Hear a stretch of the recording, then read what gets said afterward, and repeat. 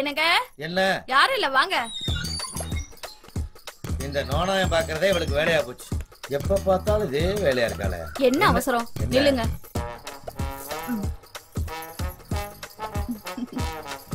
ஐயா ஏண்டி? ஆறு வருஷமா இதே வேலையை செஞ்சுக்கிட்டு இருக்க உனக்கு சலிக்கலையா? பெண்கள் கொடி மாதிரி. ஆண்களை சுத்தி சுத்தி வந்தாதானே பூ பூத்து காய் காய்க்கும். என்ன தத்துவம் என்ன தத்துவம்? தமிழ்நாட்டுக்கு எந்த மாநிலம் தண்ணி தராட்டியும் பரவாயில்லடி. இந்த தமிழ் பெண்களுக்கு இருக்கிற கற்பு ஒழுக்கம் இந்த அன்பு இருக்கிற வரைக்கும் இந்த தமிழ்நாட்டை யாருமே அசைக்க முடியாதுடி. டோட்டலா சொல்ல போனா வீட்டை காக்கிற தெய்வமே பெண்கள் தானடி. நாட்டை காக்கலையாக்கும் கெட்டிக்காரி கெட்டிக்காரி. டாடா உலகம் பிறந்தது எனக்காக. ஓடும் நதிகளும் எனக்காக. அன்னை மரியை விதித்ததும் எனக்காக. கொஞ்சம் நில்லுங்கண்ணே. அட நில்லுங்கண்ணே வரேன் அப்படி இல்லைங்கண்ணே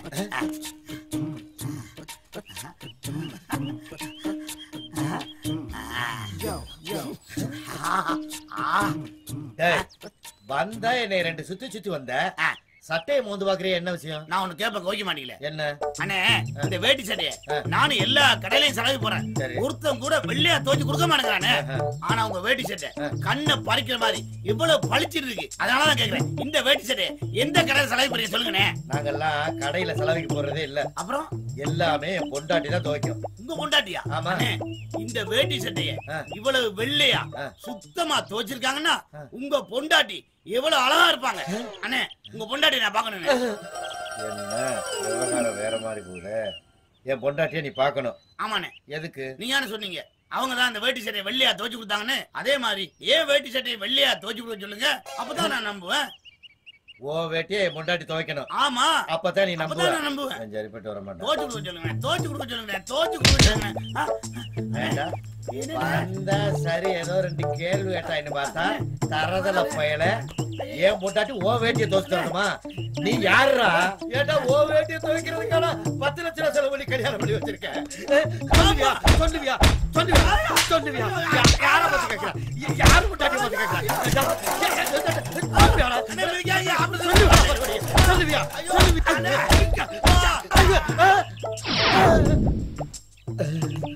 என்ன சத்தத்தை காணா?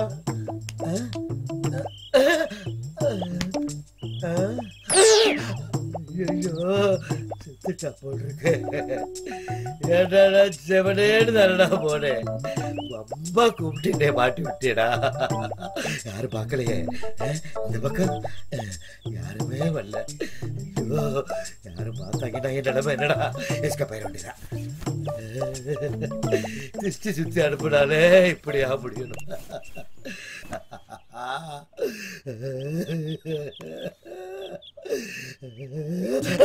ஐயோ ஐயோ அடவா காப்பாத்து அடவா காப்பாத்து இந்த ஆளு ஏன்டி இப்படி ஓடுறாரு ஏய் இந்த மாதிரி கிறுக்குங்க அதிகமா இருக்காங்க. நீ டியூட்டியா பாரு.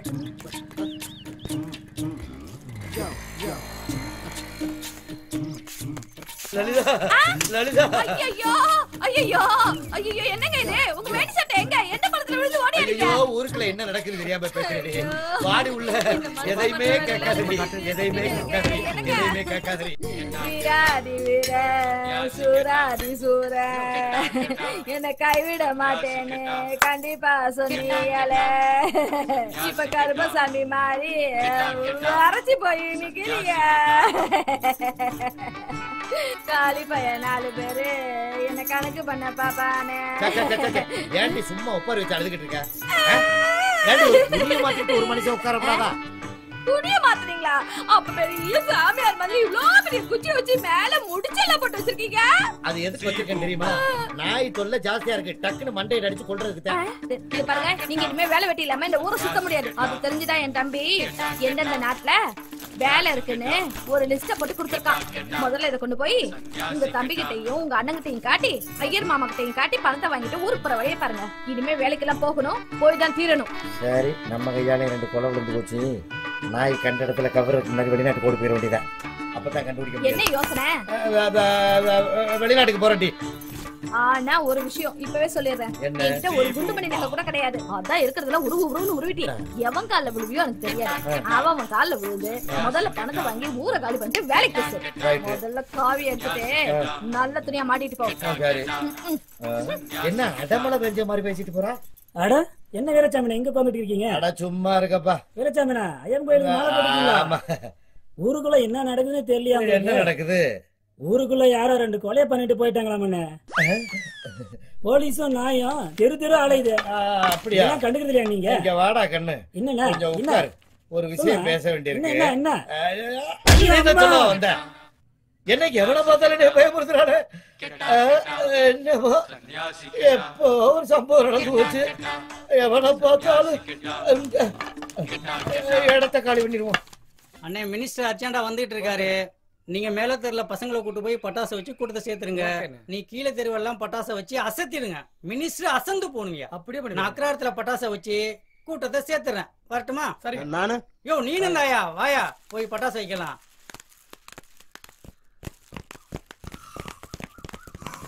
வீரமணி இங்க வையா பட்டாசை?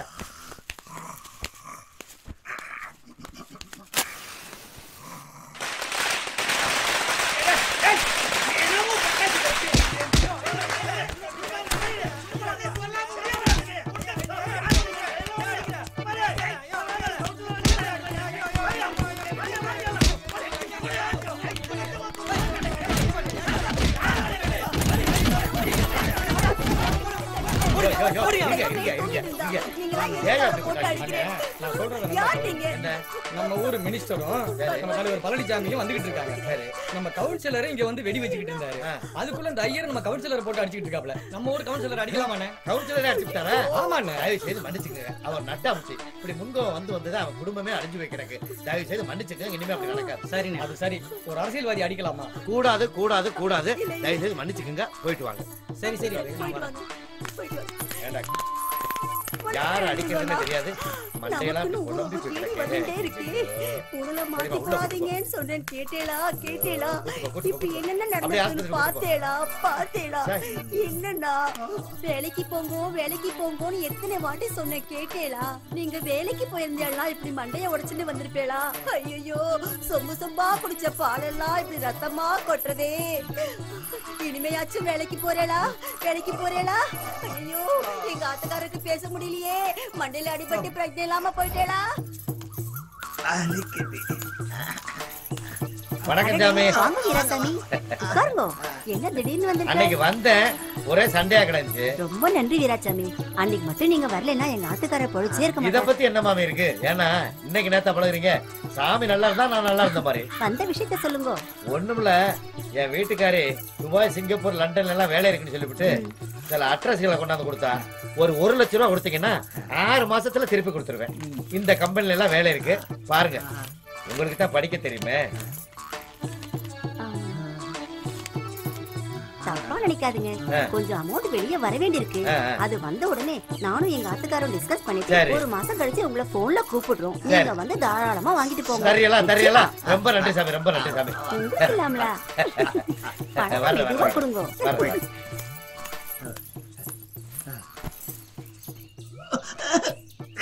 நான் சொன்னது புரிஞ்சுதோனோ?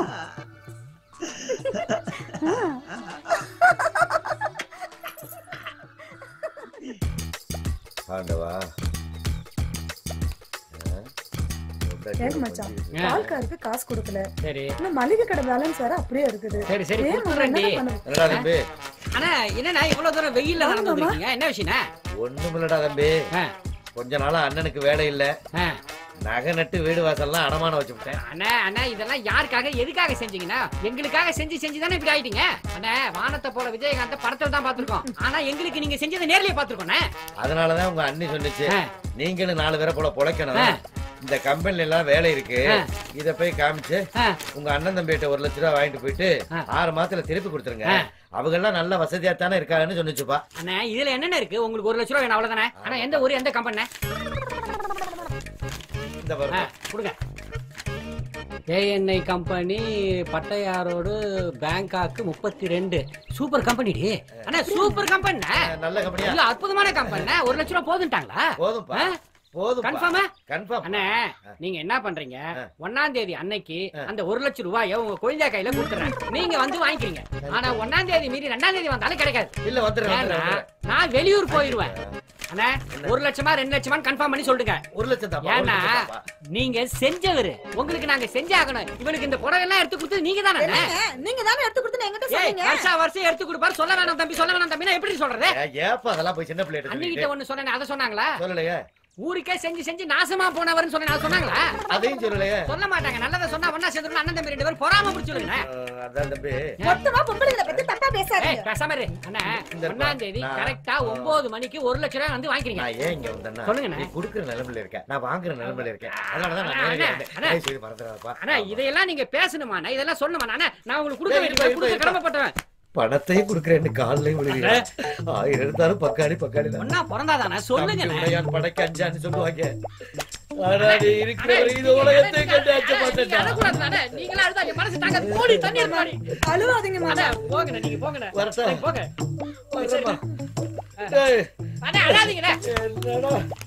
எப்படி போறாரு பாரு ஏங்க நீங்க பாட்டு காசு எடுத்து கொடுக்குறோன்னு சொல்லிட்டீங்க வேலையை பாரு எல்லாம் எங்களுக்கு தெரியும் இந்த வர தசரதா? வாங்கண்ணே என்ன இந்த பக்கம்? என்னம்மா நல்லா இருக்கீங்களா? என்னண்ணே வேகாத வெயில் வந்திருக்கீங்க? என்ன பண்றது காரியம் ஆகணும்னா வெயில்ல வந்துதான் ஆகணும். ரொம்ப நாளா வேலை இல்ல. சரி. நகை நட்டெல்லாம் போச்சு வீடு வாசலாம் அடமான வச்சுட்டேன் ஐயோ உங்க அத்தாச்சி சிரமப்பட்டு சில அட்ரஸ் எல்லாம் வாங்கிட்டு வந்தா.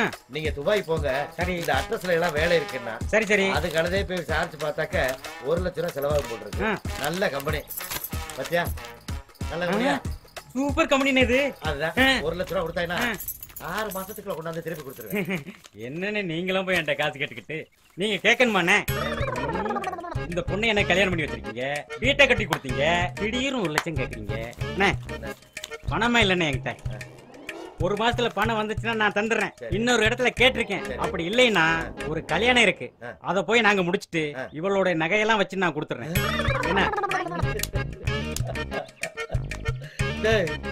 பணம் இல்லாட்டியும் அந்த ரத்தம் துடிக்குது பாத்தியா? நகையை வாங்கிக்கேன்னு சொல்றியா கண்ணு.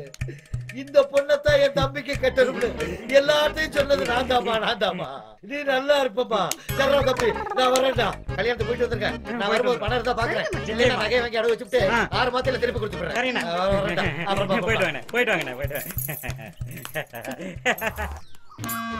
சாமி? சாமி. யாரு? ஓ வீராசாமியா? என்ன வீராசாமி? ரொம்ப நாளா நம்ம. சாமியை பார்க்கணும். உங்க சாமி வேலைக்கு போயிருக்கார். எங்க போயிருக்காரு? துபாய்க்கு. துபாய்க்கா? எப்படி போனாரு? அது அன்னைக்கு சில கம்பெனி அட்ரஸ் எல்லாம் கொடுக்கலன்னு. ஆமா. எங்க ஆத்துக்காரருக்கு தெரிஞ்சவா ஒருத்தர் துபாய்ல இருக்கார். அந்த அட்ரஸ்க்கு வேலைக்கு போயிட்டார். நான் கொடுத்த அட்ரஸ்ல வேலைக்கு போயிட்டாரா? இல்ல இல்ல. உங்களையும் கூப்பிடுவாரு. ஏன் மாமி எனக்கு துரோகம் பண்றீங்க? நான் தானே ஒரு லட்சம் ரூபாய் பணம் கேட்டேன். என்னை தானே அனுப்பணும். நான் தானே அட்ரஸ் கொடுத்தேன்.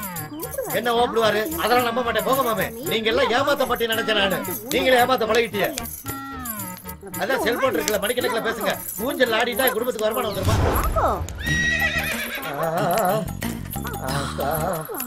ஊஞ்சல்ல ஆட மாட்டேன்னு சொன்னேன். இவ்வளவு ஊஞ்சல்ல.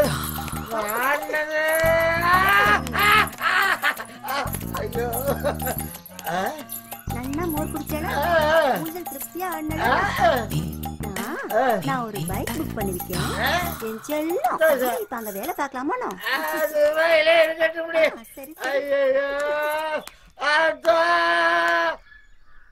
அன்புள்ள மனைவிக்கு.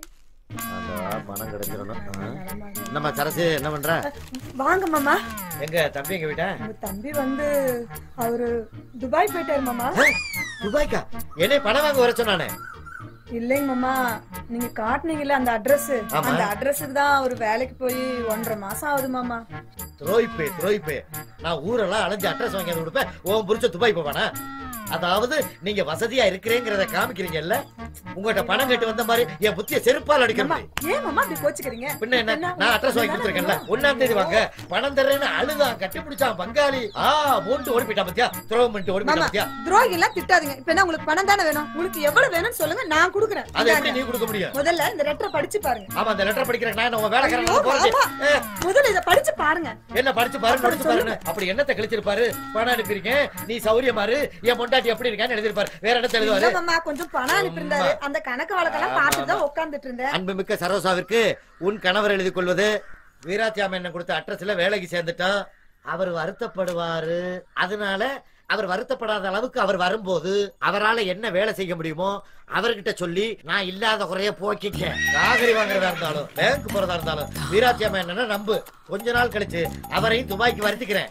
அதனால எங்களை மாதிரியும் அவரையும் பாசமா நினைச்சு நல்லபடியா பழகிக்கங்க நல்லது நடக்கட்டும். பாருங்க. உங்க மேல அக்கறை இல்லாம தான் என்னை வந்து அவளை பாசமா உங்களை பாத்துக்க சொல்லிருப்பாருக்கும் நல்ல பையன் சொன்னேன். பணம் கொடுக்கணும்ல. லெட்டர்ல வந்து அண்ணன் ஒன்னேன்னு எழுதுனா சரியா போச்சாக்கும் சரி உங்களுக்கு பணம் தானே வேணும். உங்களுக்கு எவ்வளவு பணம் வேணுமோ நான் தரேன். உள்ள வாங்க. எப்படி தருவ? நான் கொடுக்குறேன் அந்த. தொல்லைய வேணாம் நீ ஆள விடுங்க வாங்க மாமா. நட மாமா. வாங்க மாமா. வேணாங்கிறல்ல.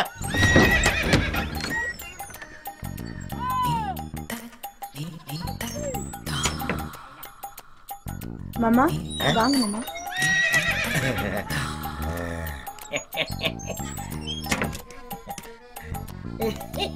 மாமா உங்களை என்னமோ நினைச்சேன். நீங்க ரொம்ப மோசம். சந்தோஷம் தானே? மோதிரம் இதெல்லாம் போதுமா? போதும் போதும் போதும் உங்களுக்கு என்ன வேணாலும் கேளுங்க.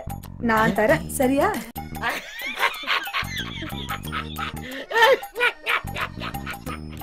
தம்பி.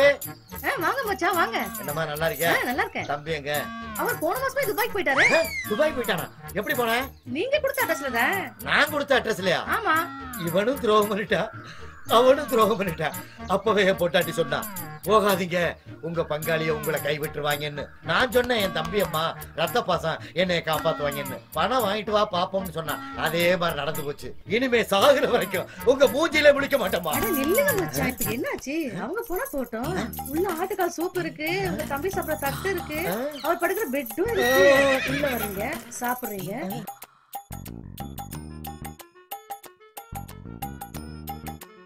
மச்சான் வாங்க. இந்த வரேன்டி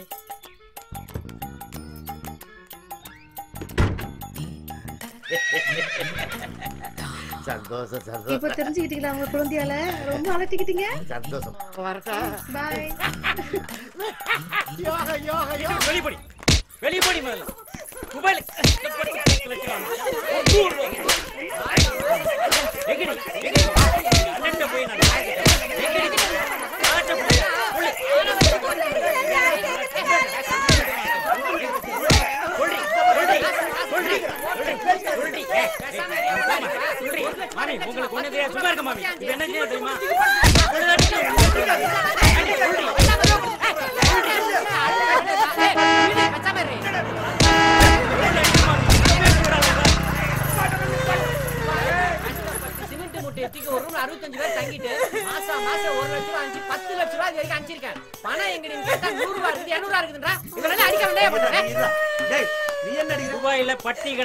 கஷ்டப்பட்டு பத்து லட்சம் அனுப்பிச்சு வச்சாங்க இங்க வந்து பணத்தை கேட்டா ஒரு நூறு ரூபா கூட இல்லைன்னு சொல்றாங்க இவள அடிக்காம கொஞ்சுவாங்களா?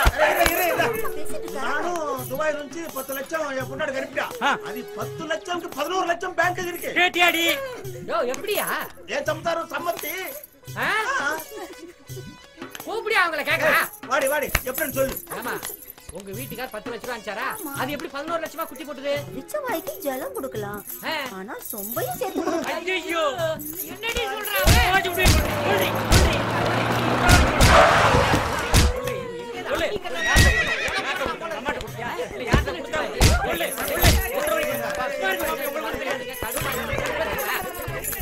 நிறுத்துக்கப்பா என்ன பிரச்சனைங்க? வீராச்சம் என்ன துபாய்க்கு போய் சிமெண்ட் மூட்டையை தூக்கி அங்க வேலை பார்த்து இங்க வேலை பார்த்து அறுபத்தஞ்சு பேரோட ஒரே ரூம்ல தங்கி இருந்து பத்து லட்ச ரூபாய் பணத்தை அனுப்பிச்சா எங்கடி பணம் கேட்டா? செலவாயிடுச்சு செலவாயிடுச்சு நான் இவளை அடிக்காம என்ன பண்றது? ஒரு நூறு இருநூறு ரூபாய் மிச்சம் வச்சிருக்க கூடாது. சரி சரி உனக்கு என்னடா பிரச்சனை? துபாயில கஷ்டப்பட்டு தகர கம்பெனி வளைஞ்சு பத்து லட்சம் அனுப்பிச்சு வச்சானே. வீட்டுல வந்து கண்ணை கேட்ட ஒரு ஐம்பதாயிரம் ஒரு லட்சம் கூட இல்லைன்றான் இவள அடிக்காம கொஞ்சம் எனக்கு முன்னாடி அவளை அடிக்கிற வேலை வச்சுக்காத. தொலைச்சு விடு தொலைச்சு.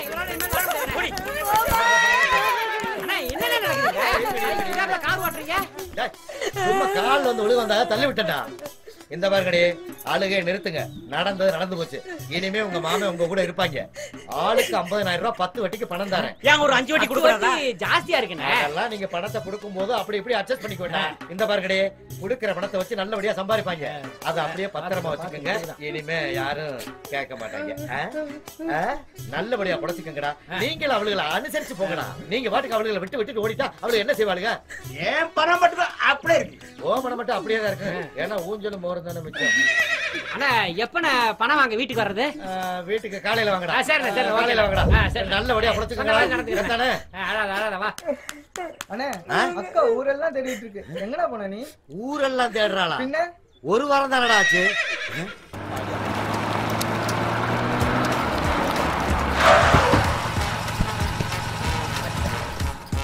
வீட்டுக்கு நம்மளே விருந்தாடி வர்ற மாதிரி இருக்கு. இல்ல இல்ல கண்டிப்பா எனக்கு ஒரு லெட்டர் எழுதி வச்சிருக்கணும் மாசம் இல்ல. வார வாரம் வாங்க. அதுக்கு ஒரு முடிவு தெரிஞ்சாங்க பாய் என்னடி முடிவு தெரியணும் ஏண்டி இவ்வளவு பெரிய கார் வருது. இவ்வளவு அலங்காரமா வந்துகிட்டு இருக்கேன். இதெல்லாம் கண்ணு தெரியாம எவனோ ஒரு காலிப்பைய பத்து காசு பெறாதவங்கிட்ட வார வாரம் வாங்க தினம் வாங்க அப்படி தினம் வந்து என்னடி கிழிக்க போறேன் லெட்டர் வர எழுதவா? ஏண்டி ஒரு வாரம் தான் ஆச்சு வீட்டுக்கு வந்து? அதுக்குள்ளே உனக்கு பொறுக்க முடியலையா? என்ன என்ன பண்ண சொல்றீங்க? நீங்க எங்க வீட்டுக்கு வரீங்க? எப்ப பார்த்தாலும் அங்காளி பங்காளினே சுத்துறீங்க. போன பண்ணா சுவிட்ச் ஆஃப்னு வருது. நான் என்ன பண்றது? அதான் அவரை கூப்பிட்டு உங்களுக்கு என்ன ஆச்சோ ஏதாச்சோன்னு ஒரு லெட்டர் போடலான்னு சால்சா போலாம் யாருக்கு தெரியும் இது? எங்க அக்கா மச்சான். மச்சானா? ஆமா மச்சான். நீங்க வேலை வெட்டி இல்லாம ஊரை சுத்திட்டு இருக்கீங்கன்னு எங்க அக்கா வந்து ஊர்ல புலம்புச்சு. சரி ஒண்ணும் கவலைப்படாதக்கா. நீ வீட்டுக்கு போ. நான் வரேன்னு சொல்லிட்டு நானும் ஊருக்குள்ள வந்தேன். அதுக்கப்புறம் தான் ரெண்டு கொலை பண்ணீங்களே ஞாபகம் இருக்கா? மாப்பிள. மச்சான் ரெண்டு கொலைய பண்ணிட்டு ஊருக்குள்ள பயந்துகிட்டு காவி வெட்டி கட்டிட்டு வீட்டோட இருந்தீங்களே ஞாபகம் இருக்கா? அது சும்மா காத்தோட்டமா. அந்த சமயத்தை பயன்படுத்தி தான் எங்க அக்கா கிட்ட துபாயில இருக்கிற விலாசத்தை கொடுத்தேன். இப்ப போய் மச்சான் கிட்ட கொடு. கண்டிப்பா வேலைக்கு போயிடுவாருன்னு சொன்னேன். நீங்களும் அங்காளி பங்காளி கிட்ட பணம் வாங்கிட்டு வரலான்னு போனீங்க. அங்க போய் தான் லெட்டர் போடுற வேலையெல்லாம் பார்த்தனே. பாத்து பாத்து பாத்து என்ன மச்சான்? கடைசியில பிள்ளையார பிடிக்க போய் குரங்க பிடிச்ச கதையா போயிடுச்சேன்னு பயந்தே போயிட்டேன்.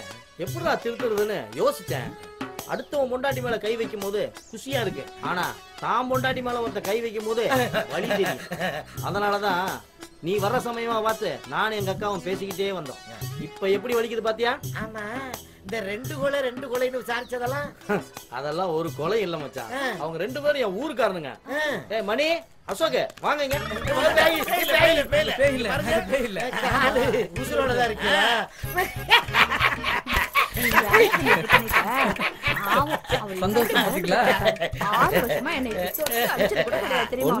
அவரை திருத்தணுங்கிறதுக்காகத்தான் இத்தனை வேலையும் பண்ண என்ன மச்சான்? மாப்பிள ஒண்ணு தெரிஞ்சுக்கங்க. இனிமே நாங்க இந்த ஊர்ல இருந்தா நாலு பேர் நாலு விதமா பேசுவாங்க. ஆமா நாங்க வெளியூர் போய் நல்லா பொழைச்சுக்கிறோம். இந்த வீட்டை வீட்டுக்காரங்கிட்ட ஒப்படைச்சிருங்க. சாமான் செட்டில் ஒரு மூட்டையா கட்டி லாரியில அனுப்பி விட்டுருங்க. நாங்க ரெண்டு பேரும் குற்றாலத்துல போய் செட்டில் ஆயிடுறோம். முடிஞ்சா வந்துருங்க.